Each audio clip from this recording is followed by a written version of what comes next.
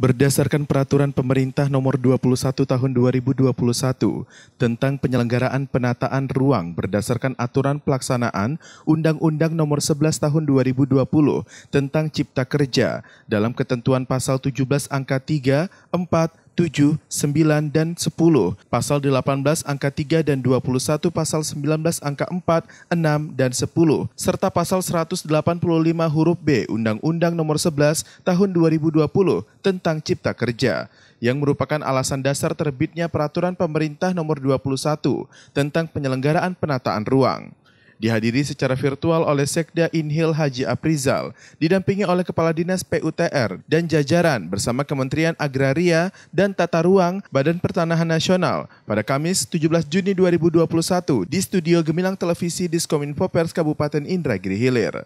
Pemaparan materi dilakukan selama tiga sesi oleh tiga orang narasumber. Pemaparan materi disampaikan oleh Direktorat Jenderal Tata Ruang Kementerian ATR, BPN, Dr. Insinyur Abdul Kamarzuki MPM, terkait kesesuaian kegiatan pemanfaatan ruang KKPR, dan dilanjutkan dengan sesi diskusi serta kedua narasumber terkait. Dirinya menyampaikan akan banyak proyek-proyek strategis nasional di masa mendatang, maka rekomendasi kesesuaian kegiatan pemanfaatan ruang KKPR yang akan sering dikeluarkan. Di sisi lain tidak hanya proyek strategis nasional, namun jika pengusaha atau pemohon ingin membuka usaha, maka pelaku usaha harus memegang syarat perizinan berusaha terlebih dahulu, yaitu KKPR sebelum melakukan kegiatan lain.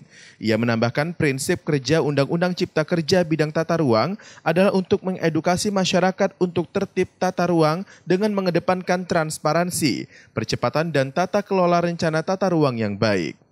Nadia Anggraini dan Roni Apriansah melaporkan untuk Gemilang Televisi.